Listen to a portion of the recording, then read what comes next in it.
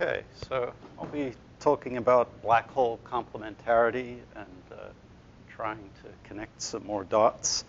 Um, and uh, I guess I, I sh- should mention this is based on some recent work with uh, Larus Thorlacius and some earlier work with uh, uh, him and uh, Klaus Larjo. Okay, so I'll begin with just a brief uh, discussion of effective field theory and uh, try and clear up some of these issues about measuring measurements and their relation to correlation functions and effective field theory. Uh, and I'll argue it's conventional on the outside and rather fuzzy on the inside. So, an idea that's compatible with black hole complementarity. Um, and uh, also very similar to what the fuzzball people are, are saying. Um, I'll then talk about local observables near the horizon. And one of the things I'll argue is firewalls are, a generic firewall is going to be visible from the outside. Um, and I'll, I'll show that by thinking about scalars in a Schwarzschild background and just explicitly computing a one point function that uh, illustrates that. And I'll try and set that calculation up in a way that you can promote it to, to see what's going to happen if we uh, uh, look at uh, generic pure state uh, black holes. And uh, we'll see what happens there. And I'll uh, end with some uh, comments uh, somewhat related to some of the things uh, Eric and Herman were talking about yesterday. Okay, so let me begin by just giving a brief review of how we think about measurements in quantum field theory. Um, so, quantum field theory gives us some set of correlators, and I want to talk about the physical meaning of these correlators. So usually we, when we compute a correlator of a couple of fields, we have in mind that we're actually coupling those fields to some large measuring apparatus um, and projecting the, the field into some kind of uh, eigenstate, for example, of momentum. So that's what LHC detectors do, for example. Um, and if you want to do this in a very mathematically precise way, you only have a shot at doing this uh, at infinity. Okay, so if we want to think about doing it near a black hole, I mean, it'll still work work well as long as we stay several Schwarzschild radii away.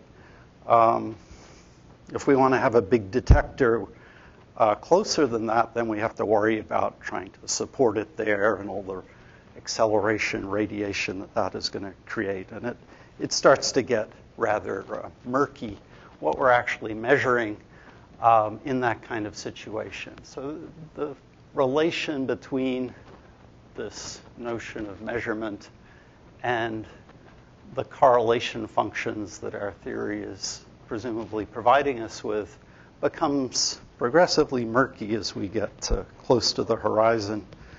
And once we go inside the horizon, uh, all bets are off for some kind of mathematically precise relation between correlators and measurements.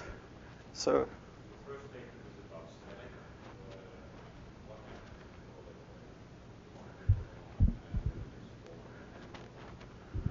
Um, yeah, so I, I'm imagining we have some kind of microscopic theory that gives us some complete set of microscopic correlators. Uh, then our challenge is to uh, interpret those in terms of what people see at different points in the space-time.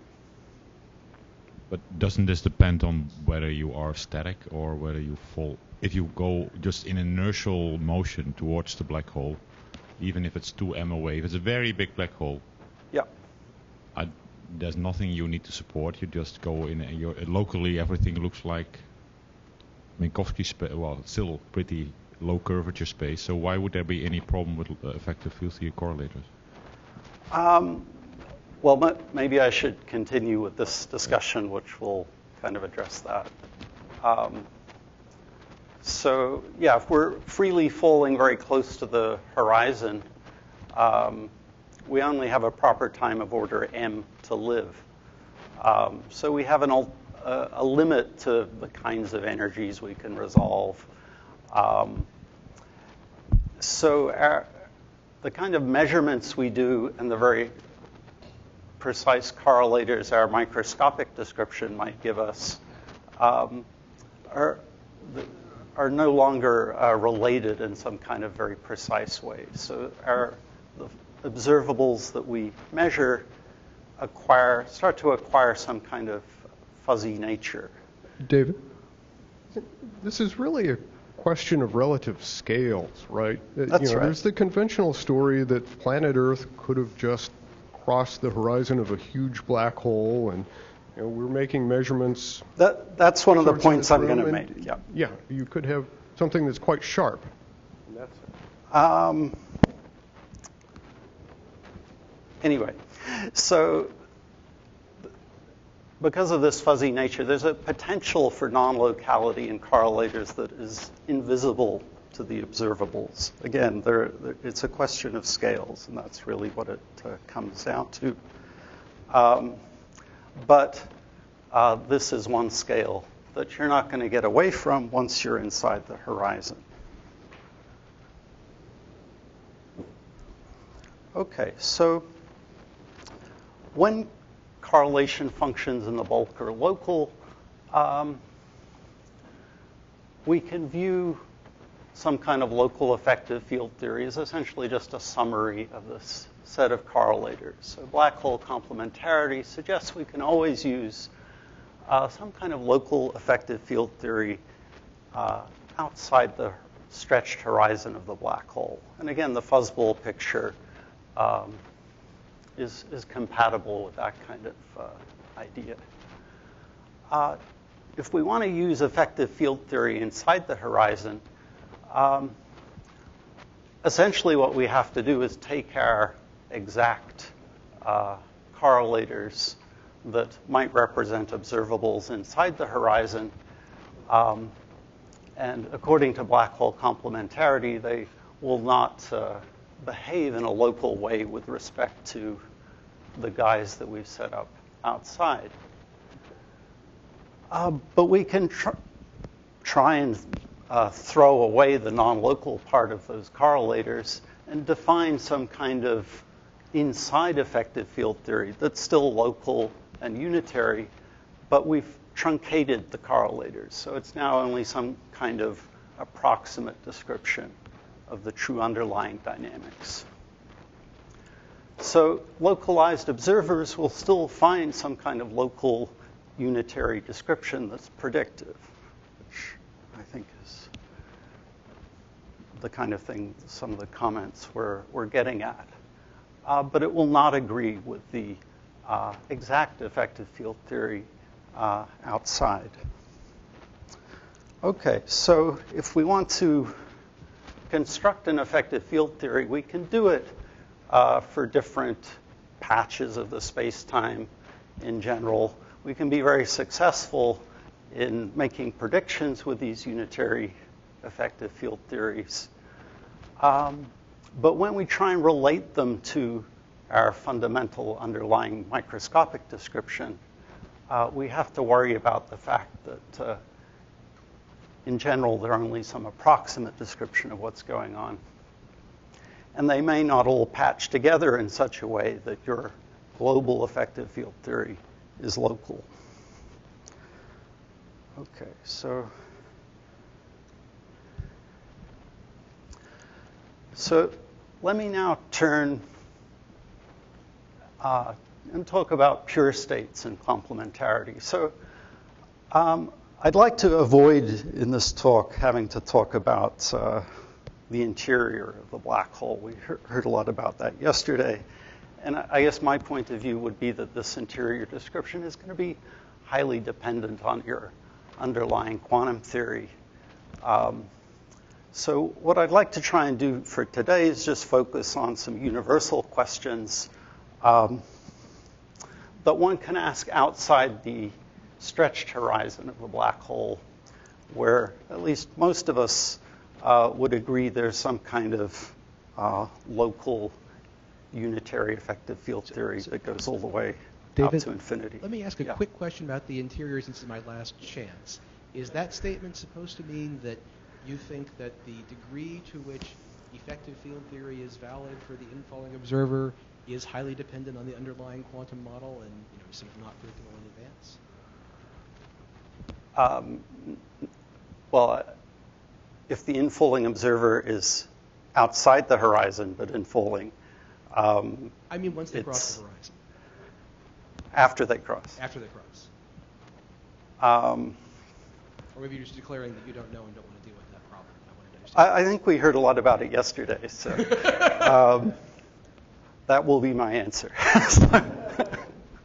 um, um, but yeah, it's something I'd like to think about more in the future. But so th- there have been a lot of, I guess, retreat from the fact that uh, there's maybe a sign of the firewall outside. But I- I'd like to argue that uh, that that is in fact uh, not the case, and, and just uh, think about uh, computing uh the expectation value of some scalar stress energy tensor in, in, in the Schwarzschild background. Okay, so just a free scalar field uh, coupled to gravity. Okay, so let me just review some old facts from the 1970s. Um, there were various competing vacuums at that time. Um, and one that's quite relevant for the discussion is known as the Boulware vacuum. Um, so that's the, the vacuum state where we just use Schwarzschild time to decide whether modes have positive uh, frequency. Uh, and we do that for the ingoing modes and the outgoing modes as well. So, um, so as, as Lenny told us yesterday, uh, shield time doesn't uh, allow us to cross the horizon. Um, so th- this gives us a, a model for, for states where you, you might have perhaps a, a mirror boundary condition near the horizon or perhaps even a generic membrane. And what you find is not some kind of small uh, stress energy near the horizon. You find a, a, a genuine power law divergence on both the past and the future horizon. And I'll, I'll go into the details of that a little more uh, in a moment. Um, more popular vacuum here is the Hartle-Hawking vacuum.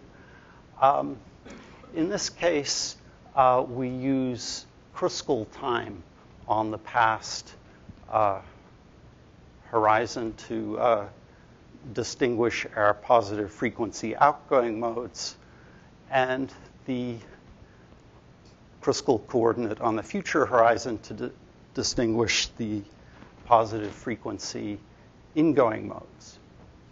So that, if we use that definition of uh, the vacuum state, we, we find a stress energy that's smooth on both the past and the future horizons.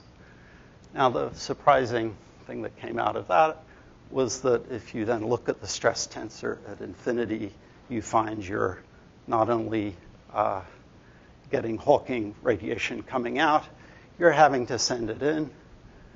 Whereas in the Boulware vacuum, um, no radiation goes in and uh, no radiation comes out. Okay, so so that's good for thinking about a black hole and thermal equilibrium.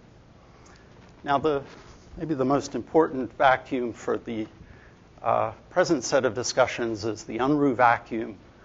Um, this is a kind of uh, mixture of the two. So for the ingoing modes, we use Schwarzschild time uh, to set up positive frequency modes. And for the outgoing modes, we use the, the Kruskal time on the past horizon. Okay, so we do our computation and find that the stress energy is smooth on the future horizon. But like the Boulware vacuum, there's a power law divergence on the past horizon. And that's maybe something people should watch out for when thinking about these double CFTs. Uh, any generic infalling state from the right is going to give you a singular past horizon if you're worried about that. Okay, but th- this gives us a good model for black holes formed in collapse. We can um, actually generalize this to arbitrary infalling states, and the stress tensor will stay smooth on the future horizon. So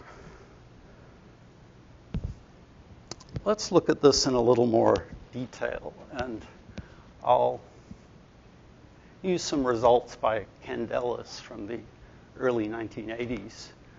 Um, and to simplify things, I'll just look at the expectation value of phi squared to save writing a lot of indices.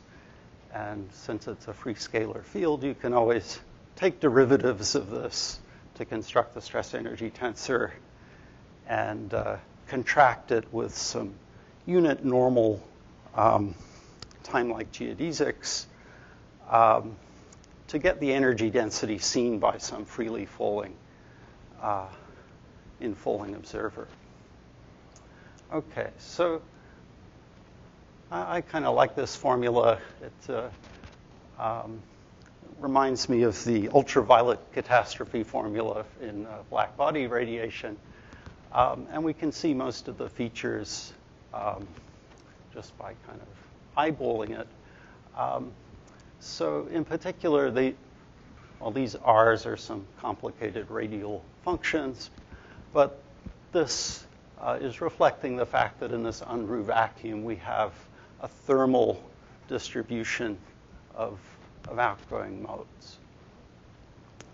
Okay, so if we do these derivatives and look at the limit of this on the future horizon, um, there's going to be a, a, lot of divergences uh, coming from the limit where r goes to 2m. So these two terms here are renormalization counter terms that uh, uh, are coming when you do the proper uh, uh, renormalization of this operator. And there's a delicate cancellation as r goes to 2m uh, between this term and these terms. Okay, so it only works if you have this exactly thermal, essentially only works if you have this ex- exactly thermal function here. On the other hand, if we uh, look at this term uh, in the limit that r goes to 2m, um, it, it's just finite. So we, we could have whatever ingoing modes we want and get lot, in principle, we could uh, easily generalize this expression to have uh, whatever ingoing modes we want here, and it won't change the divergence properties of uh, phi squared. Okay, so we have a lot of freedom in what we can send in, but if we try to do any kind of uh, projection on what's coming out and change that uh, purely thermal uh, state coming out, um, we will immediately see a, a divergence on the uh, outside the stretched horizon. Okay, and if we do uh, Hartle-Hawking, um, we get another cotange factor here. Um, so in that case, um, if, even if we went to the past horizon, we would have a smooth uh, expectation value of T mu nu. So in the past horizon, the roles of these two uh, terms essentially swap. Um, and for the Boulware vacuum, um, neither of these terms has a thermal factor in front of it um, and is divergent both on the past and the future horizons. Yeah.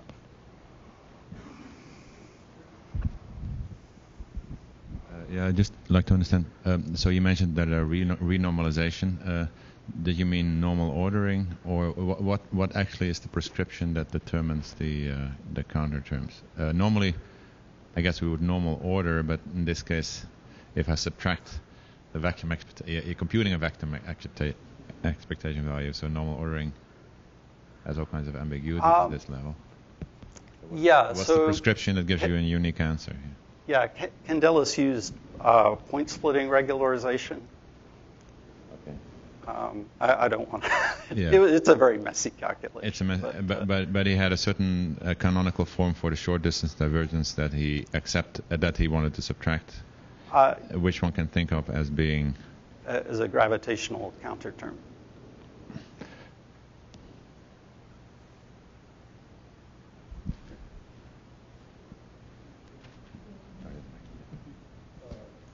The condition is that the infalling observer doesn't see anything singular there. That's the prescription, I think, that uh, he was just asking about. You Just think about this in the Rindler-Minkowski case. It's the condition that the uh, that you're in something like the Minkowski vacuum, uh, where Um, you sail across the horizon without encountering a singularity. I think that's how you pick the vacuum, but that's not how you choose your normalization scheme. No, well, okay. So he was you have to asking about Yeah, yeah the I think- prescription. I think maybe I can get uh, maybe I can get the answer myself. Uh, so you take a local Minkowski uh, metric, you take you take the, ins- uh, the inertial Minkowski metric, and that's the one relative to which you normal order. I guess that's that's. Yeah, that's an, I think that's basically another way to say it. Yeah, you can probably reinterpret it that way. Um,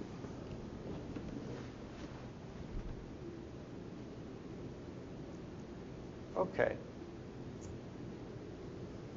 Good. So if we replace this uh, outgoing mode distribution by any kind of non-thermal probability distribution, we get a naked firewall. So a couple of examples. Um, we could uh, imagine changing things so we have some eigenstate of the number operator of the outgoing radiation field. So instead of that uh, thermal factor we just saw, we might imagine replacing that by um, some, some of your favorite uh, delta function frequencies.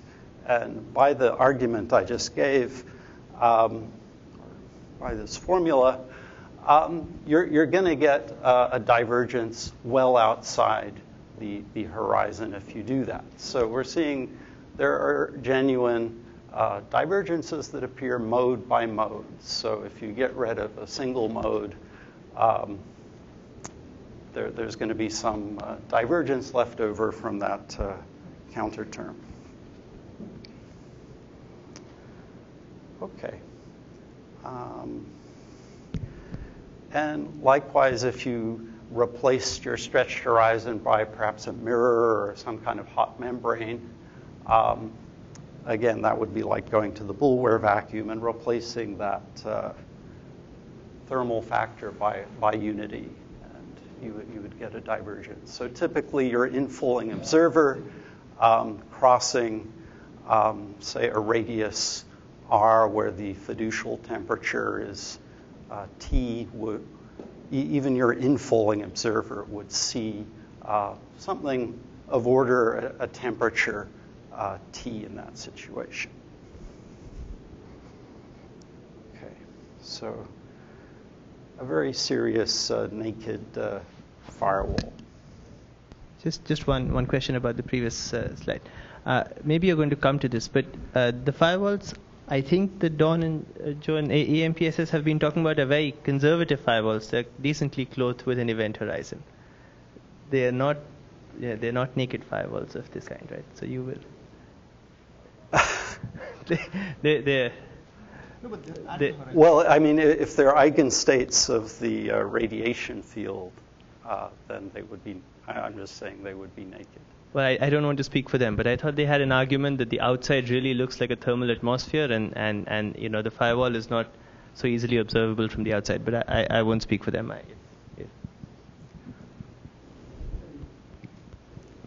I agree. David will eventually tell us what he's just let him go on. Okay. Um, okay, so so what I'd like to talk about now is to think about forming a black hole from uh, smooth collapse, and if we're in the uh, post-Page epoch, um, we could still imagine computing this expectation value by estimating uh, corrections to this exact thermality of the outgoing modes.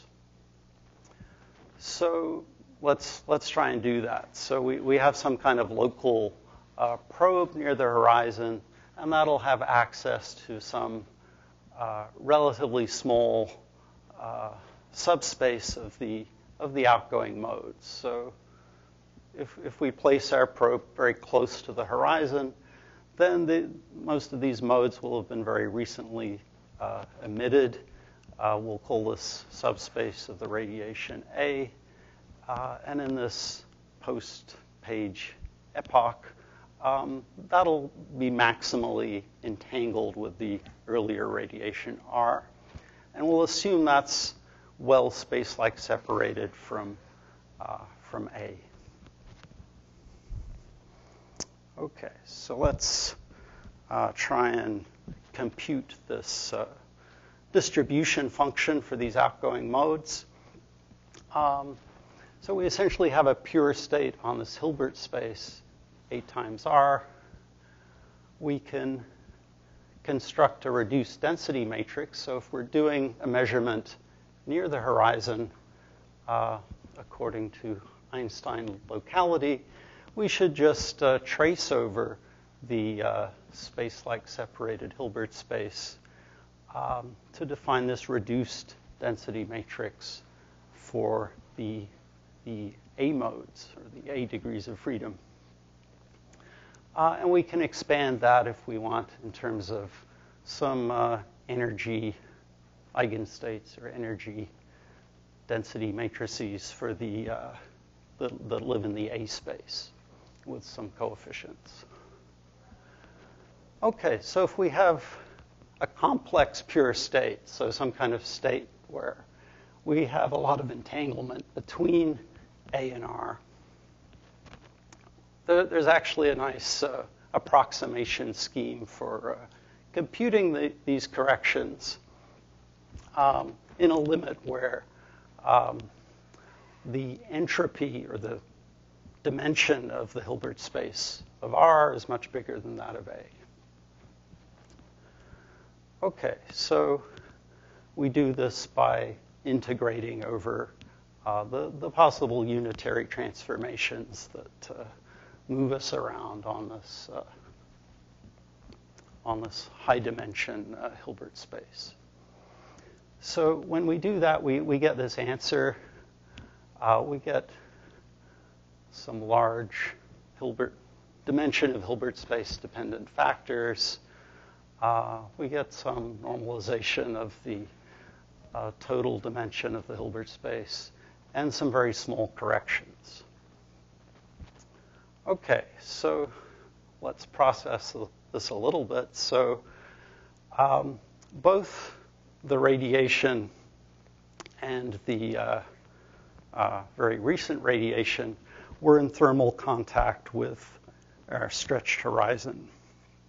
So, most recently, we're thinking of A in the stretched horizon as evolving unitar- unitarily, um, which essentially makes DSDA, uh, DSDEA um, equal to DS sub B DSEB if B is the stretched horizon.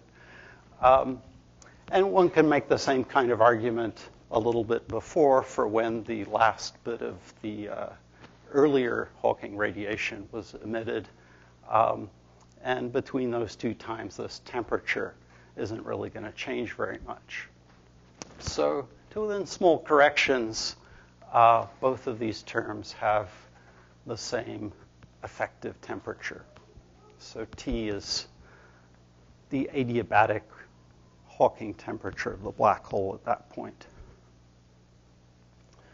Okay, so we can Taylor expand this uh, uh, function. Um, expanding in inverse powers of the entropy of the radiation. And if we put all that together, we find that this uh, reduced density matrix has this almost exactly thermal form uh, up to corrections that are of order e to the minus uh, the entropy of the large system of outgoing radiation. Okay, so maximal entanglement of A with the much larger system and being able to trace over this much larger system kind of saves the day for us. And if we plug in and compute the stress energy tensor, um, we find it's actually suppressed by the exponential of the, uh, the entropy of the outgoing radiation. Okay, so it, it's essentially uh, tiny on the stretched horizon, and we get no kind of naked firewall. Okay, so so I would view that as a success for black hole complementarity. Um, we've essentially shown that uh, if if you have one of these radiation eigenstates, it's um, it's not the relevant state for computing what a local infalling observer sees as they cross the horizon. Okay. Any questions on that?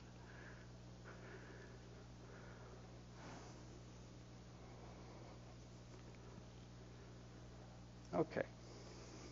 Well, I, I, will just. You just use the words as they cross the horizon. I think you meant as they approach the horizon. Well, they, they can get up to the stretched horizon. Yeah. They can even cross the stretched horizon. Okay.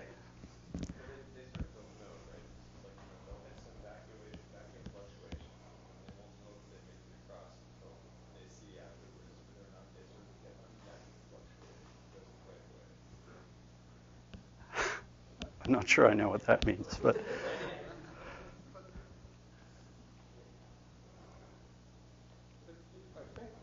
it sounds like you may be saying something more. Uh, let's at least try on that. Uh, that you're saying uh, if you look at the stress tensor from the vacuum fluctuations just outside the horizon, there's some averaging that makes uh, those smaller than you might have expected. That's right. So every eigenstate so in this outgoing not, well, Hilbert space produces a much larger expectation value for the stress energy outside the horizon than you see when you actually uh, do this tracing over the over a uh, complex pure state.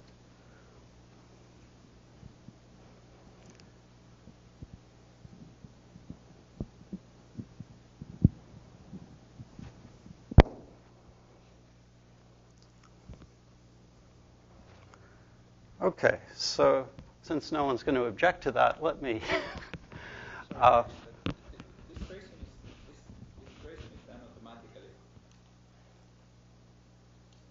tracing is done automatically as you do the computation, right? So if That's you just right. observe it. Yeah. So also, you know, if you projected on a definite, you know, state of, I guess you called it, well, of R, then yep. then you would not have that cancellation. So you're That's saying right. it's a feature of this average over. That's right.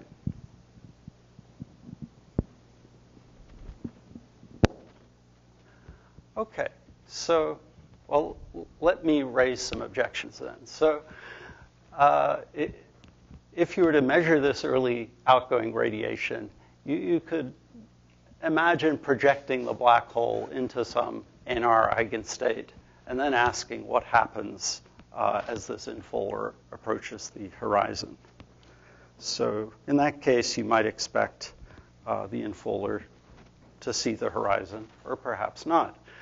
Um, or you might even argue uh, if you don't measure the radiation, um, decoherence will kind of do the job for you uh, and pro- project you into some kind of uh, uh eigen, essentially an eigenstate of NR. Um, because I guess one of the slogans of decoherence theory is that local interactions abhor non-local superpositions. And what we're concluding is we have to average over uh, macroscopic superpositions of different kinds of Hawking radiation in order to get rid of this firewall. Okay? If you want to have uh, some kind of uh, local superposition uh, or local eigenstate um, of the outgoing Hawking radiation, um, you're going to be in a situation where your outgoing state is very close to one of these NR eigenstates, and you're going to see a firewall outside the horizon. Yeah. So uh, I've heard this kind of before, but what confuses me is that in principle, we're just talking about the matter that collapsed to form the black hole and the space around it. When we talk about decoherence, there's always an ancilla or some other system which will entangle itself with it. Here, yeah. in principle, of course, when there's a black hole, there's stars around and all that. But in principle, there's only the black hole and the space-time. What is causing this decoherence? Exactly. no. Oh, I'm going to talk more about okay. it. Uh, okay.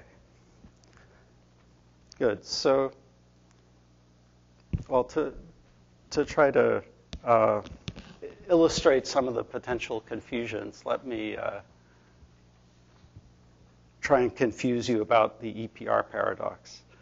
So let's imagine we have uh, a spin singlet, so we have some kind of tensor product running horizontally, and uh, a sum with a minus sign running vertically. So, so th- this is supposed to be a picture of a spin singlet.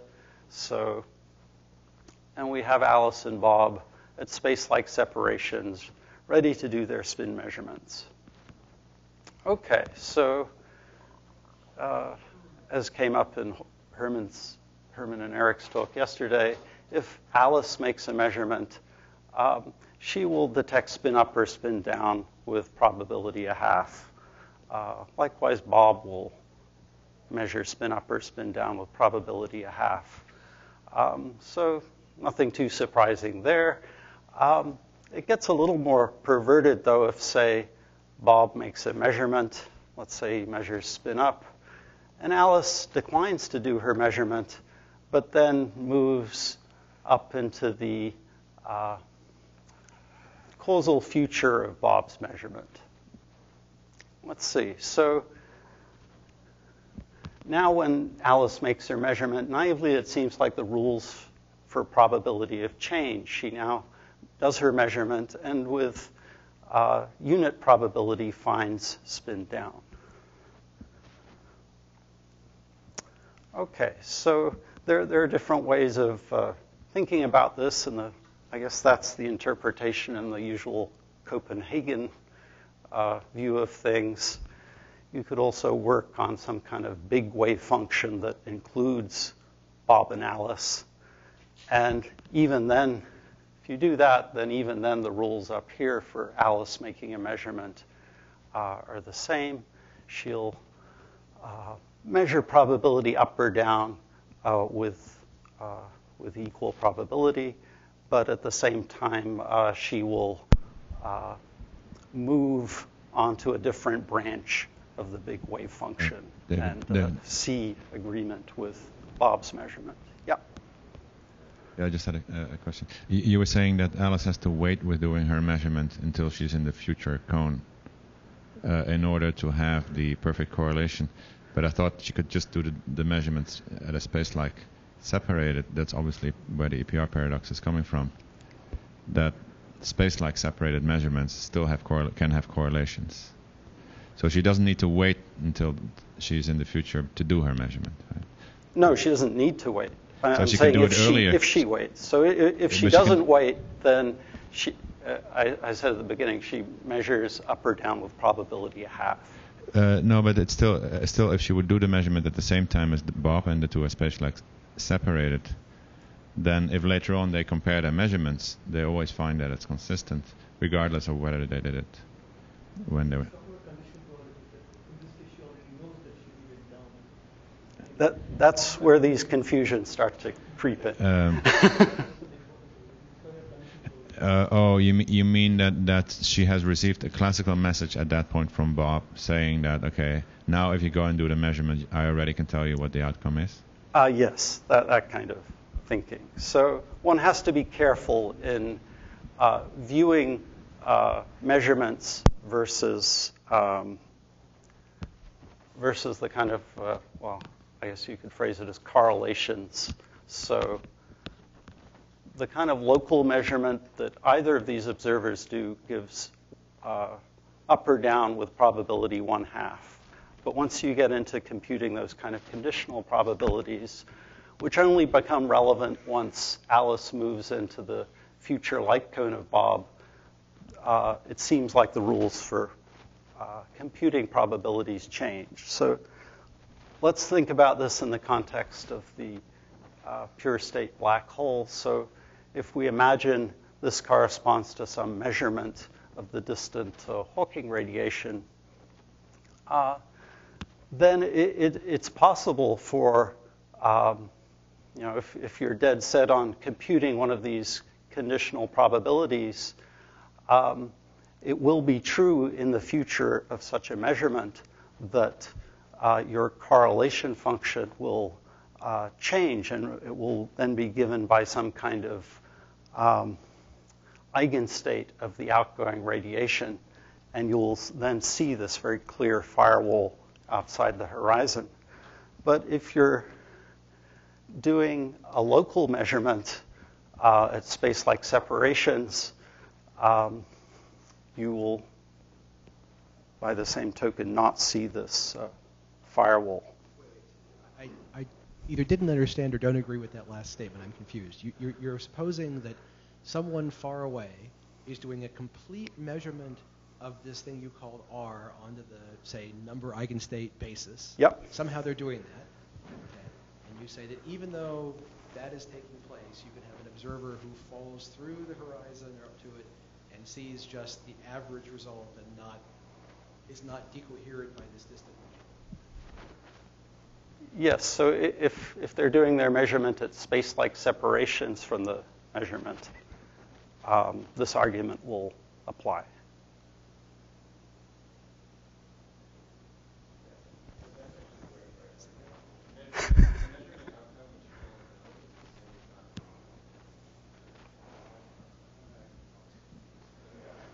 Yeah, um, the thing is, if I don't think it has anything to do with space-like or or time-like. You know, if Alice receives the measure, the piece of paper from Bob saying what Bob's measurement was, and she decides, oh, I'm not going to look at this. I don't care what Bob did, and just does the measurement. From her perspective, she sees exactly the same thing, whether she's time-like or space-like to Bob.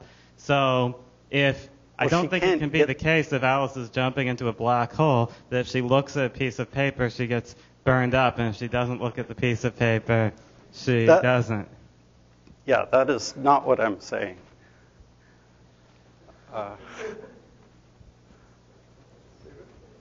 yeah.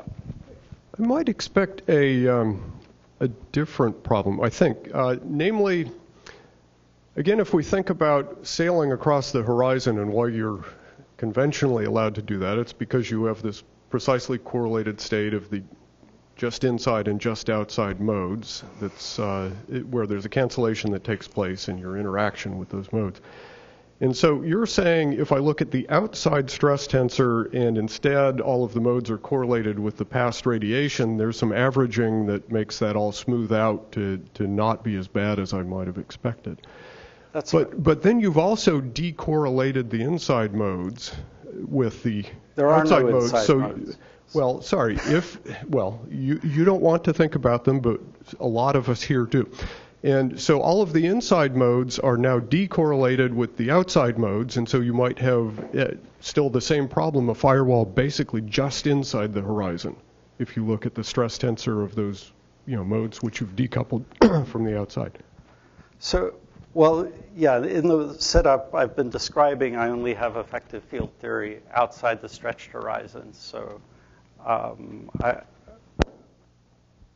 I, am not going to touch that. We heard a lot about it yesterday, but I've already shown that if, if you have an eigenstate of this outgoing radiation, I mean, the, you, you already see a firewall outside the stretched horizon. There's no reason for it to hide behind the global horizon. Um, so it, it's something you can already address using uh, the kind of effective field theory that everyone agrees on without having to get into uh, Uh, these uh, is- wha- more advanced discussions that we heard about yesterday. So at the level of two qubits, I think the firewall question is that you have to do a Bell measurement on both qubits to see or not see a firewall. What you're describing is doing a measurement on one qubit. So that will, Yeah. I mean, I, I don't think it's supposed to show a firewall or not. The firewall question is a Bell measurement on both the qubits. I, I disagree. So uh, I would, well, a, a firewall for me would be uh, a quantity you can observe in a one-point function. So uh, a- as I've said, a local measurement uh, will correspond to tracing over uh, whatever measurements are being made over here. Um, so if Bob measures, uh, does a measurement of the spin, um, what Alice is really going to be doing then is tracing over Bobs that are some of which who have measured up and some of which who have measured uh, down. Uh, and in doing so, will not see a, uh, uh, a firewall.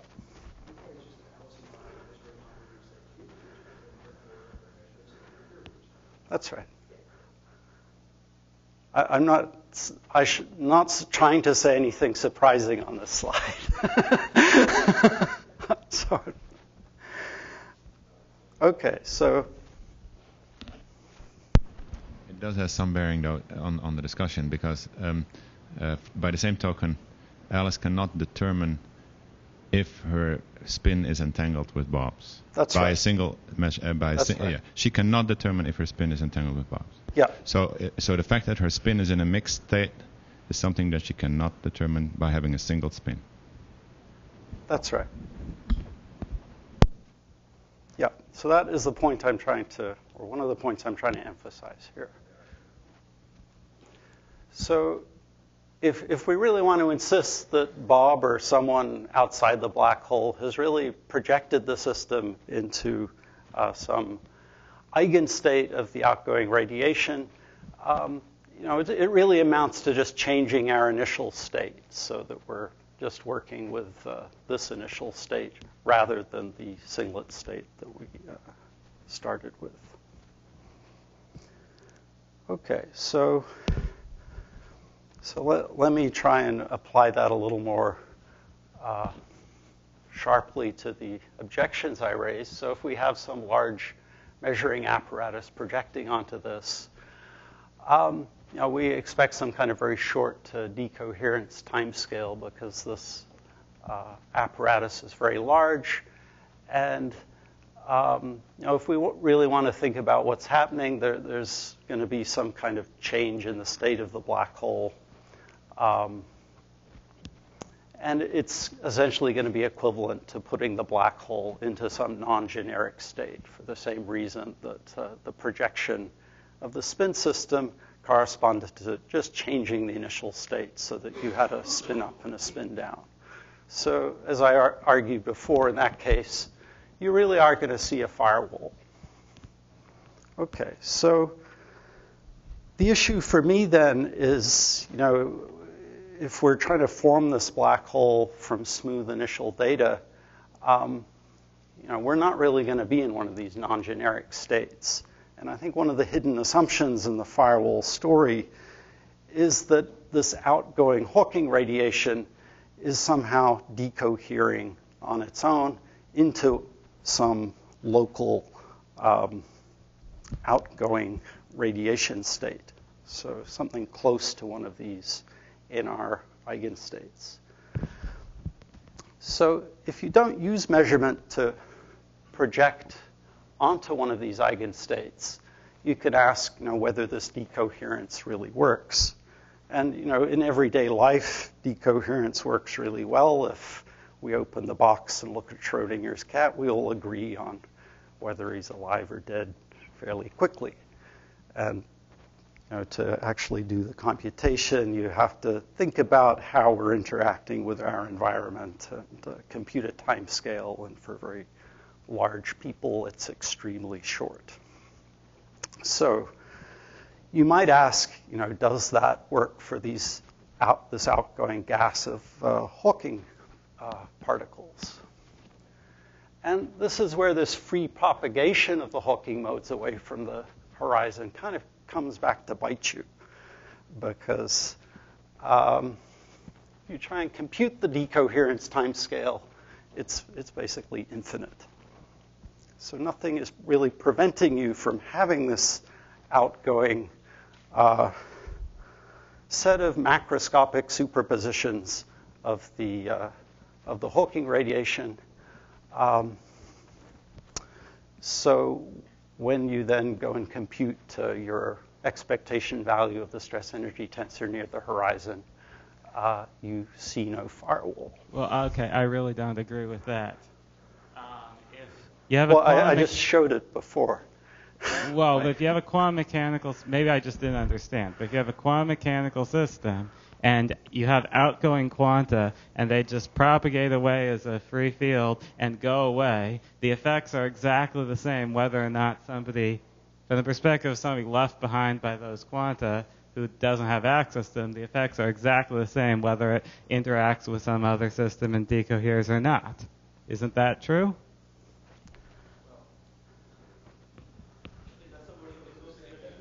Yeah, okay, well then I must not be understanding the words. Maybe I think somehow they think they mean the opposite of what they mean. But you're, you're saying free propagation Hawking modes away from the horizon produces an infinite decoherence time scale, and that prevents the firewall?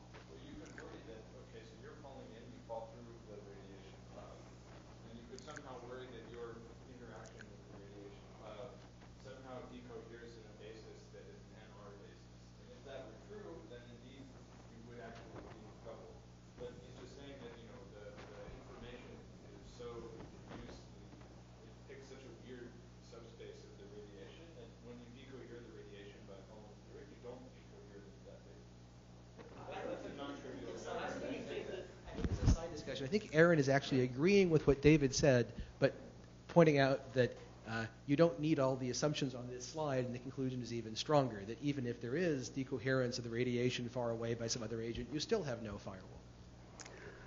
Um, well, not not if the well. I mean, it, it, if your outgoing radiation is in an NR eigenstate, uh, and you do the computation of the uh, uh, of the stress energy tensor, you find a firewall. So let me back up. So, so who's decohering? Who's decohering this radiation? I still don't get what's the environment.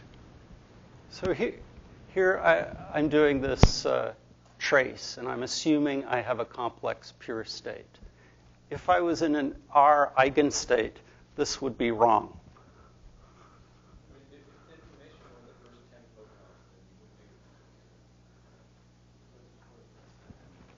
If, if this is wrong, I get a firewall.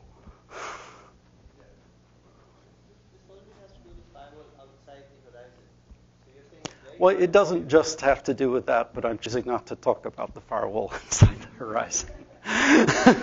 Because I don't want to get into a discussion like yesterday. uh, horizon, what you're saying is it's you could create a firewall by doing some extraordinary measurement on the radiation, but generic things you do outside would not create a firewall outside the horizon.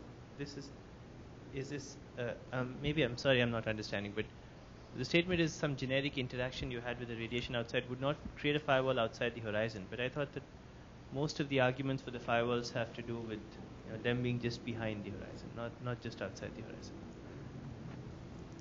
So I already showed before this slide that the arguments for the firewall lead to a firewall outside the horizon. If you work in this radiation eigenstate, you see a firewall outside the horizon. Every single eigenstate gives you a firewall outside the horizon. That's the point. but but every uh, every basis element of your Hilbert space gives you a firewall, but nevertheless, when you put them in a complex pure state, the firewall goes away. Sorry, uh, could I just ask a, a really simple question?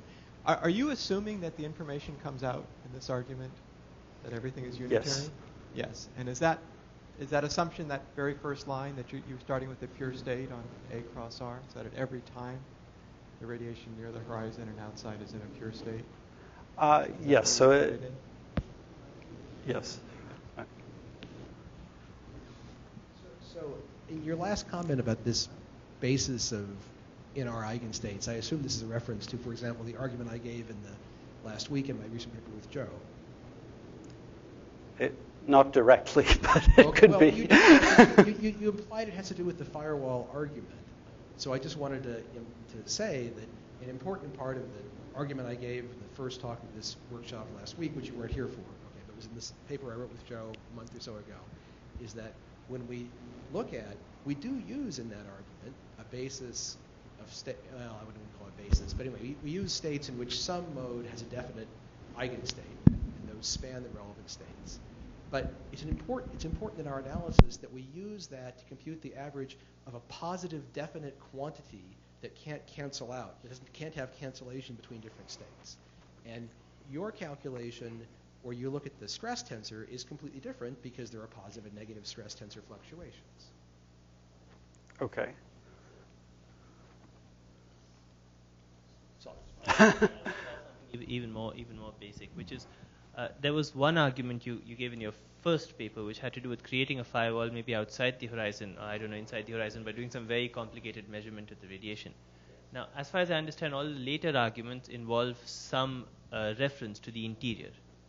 Is this correct? Yeah, I mean, All of our arguments involve some reference to the some interior. reference to the interior. So, We have no argument that applies to the exterior. well, maybe the f- there's this argument which I think maybe you're addressing, which involves doing a very complicated radiation measurement on the outside, which could create a firewall outside the horizon. Okay, ne- never mind. I, I, I agree. I, I would like to. I, so, but I, I just want to if the infaller can manage to do a sufficiently complicated measurement, then it can then you can see it then they can see a trace of the firewall outside. right, but but. I just want to understand if, if you're addressing that arg- if you're addressing that argument because uh, if I if I understand correctly, all the other arguments involve some reference to the interior. So unless you make some reference to the interior, it's, I mean, I, I find it hard to see how, from an argument of this kind, one could exclude a firewall that exists just behind the horizon. Which, which, which I think, and I think their arguments don't lead to firewalls only outside the horizon, but firewalls that could be just behind the horizon. Okay, well, I, I disagree with that, but um, for reasons I've explained. But um, that that's uh, what I mean. One can take all these ideas and apply them to a particular model that reconstructs modes inside the horizon, and again, all the conclusions will largely carry over that. Um, as long as you're allowed to trace over these modes, and as long as you're in a complex pure state, um, then this kind of structure will still emerge. And these extremely small uh, corrections to what would have been an exactly thermal state, and I think everyone agrees in the that the Hartle-Hawking state does not have a firewall. Um, they, they will again uh, suppress uh, the, the, the presence of any firewall. But arguments about this operator that looks like it's positive, for which it's hard to get cancellations uh, by summing over large numbers of. Uh, I, I don't know. I, I don't want to get into that. But okay, so let me uh, conc- conclude then. So. Um, Okay, so what we seem to end up with, uh, which perhaps at least uh, I find surprising, is that the Hawking modes are, are really in a macroscopic superposition. And no one else seems to be worried about that, but let me, uh, say why this is useful. Um, so, uh, just to conclude, um, I, have argued that black holes formed from some smooth initial conditions produce no visible firewalls. And this is a nice test, I think, that black hole complementarity passes. So, what we have in the outgoing radiation is some non decohering macroscopic superpositions of these outgoing states, which are an important part of the story. And if you want to construct interior observers who see local quantum mechanics, this is really a prerequisite because you can't have uh, the same state describing uh, the, the decoheres with respect to two completely different Hamiltonians. So uh, if you want your interior observers to see ordinary quantum mechanics, um, they're going to be viewing this state uh, from the point of view of their local Hamiltonian. Um, and they ought to be able to do their Schrodinger cat experiments and whatnot and uh, have ordinary decoherence. Um, that one of the ways of phrasing the firewall problem is that you can't have uh, two uh, Hamiltonians that are not uh, local with respect to each other uh, decohere the same state. Um, so this, I think, op- this observation, I think, opens the door to uh, having a conventional interpretation for these interior observers, because I, I feel like we were missing this point that uh, there actually is no uh, natural mechanism for uh, decohering these uh, outgoing Hawking states, and we end up with some complicated macroscopic superposition, which we're totally not used to dealing with in, uh, in our usual view of measurements. Yep. In the real world with real black holes, these excitations will go out and they'll they'll scatter on things. They'll scatter on the yep. microwave background and various other exactly. things. And so and in fact, you know, that's going to produce decoherence ultimately. There's some time scale. You that's can try right. to estimate what it is. So I, I, don't see how you can assert that you don't have decoherence. Don't know what basis it exactly it decoheres in, but uh, it does by those those mechanisms. That's right. So I kind of already addressed that point before. So it, it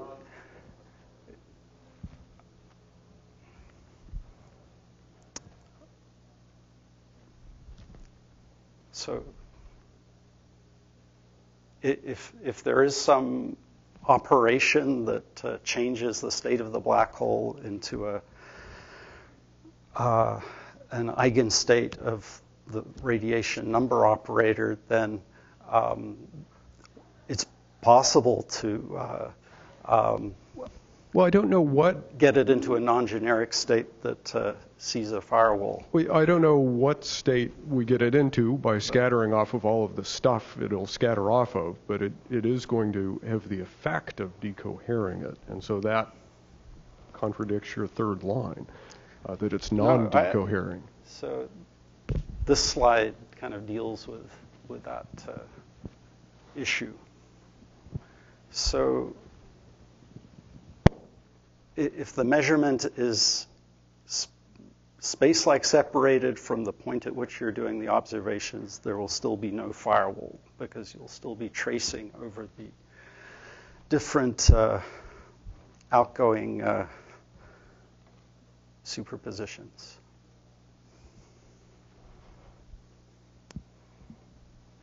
I think what's cr- a critical reason why why you're part of your argument here is that um, from the perspective, you're only looking outside the horizon, and as Alice comes in, if she's just measuring the near horizon system, for you, whether or not there is a firewall does not correspond to a linear quantum operator. You're basically saying there's no firewall if it matches the Hartle-Hawking state outside, but the Hartle-Hawking state is a mixed state.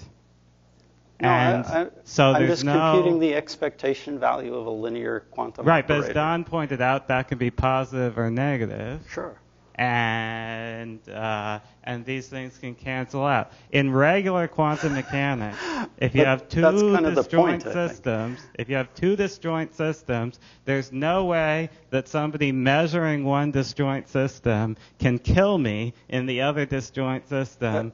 Uh, I- completely agree. The expectation values of what I see. If they measure something weird, if they get an atypical result, that could have an implications for what I see. But if I just know they made some measurement and got a typical result, it doesn't change my expectations. That, yeah, that was something I was trying to explain on one of the earlier slides, but I guess it didn't quite work. But if you then go into the uh, future light cone of that uh, uh, person who did the measurement, then there is this sense in which one can compute conditional probabilities where the, the rules change. I certainly agree you can compute conditional probabilities and that you can see entanglements in that way.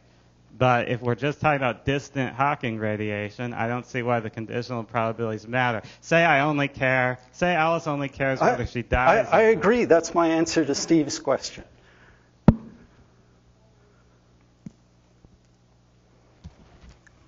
Okay.